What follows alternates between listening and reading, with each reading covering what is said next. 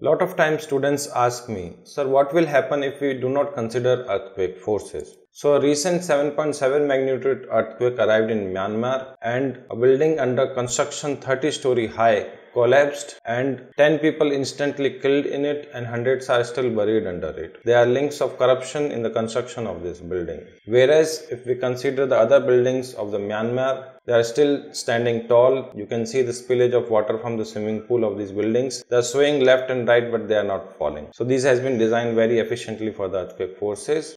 And if you look at the other structures like bridges, the old bridges have collapsed under these earthquakes whereas the new bridge has survived as these has been designed for earthquake forces. Now if you are designing your structures without earthquake forces then these structures won't survive under these events. So considering earthquake forces while designing structures are very important. Now for aspiring civil and structural engineers who want to learn how to design buildings for earthquake forces, we have online courses. Visit our website for more details.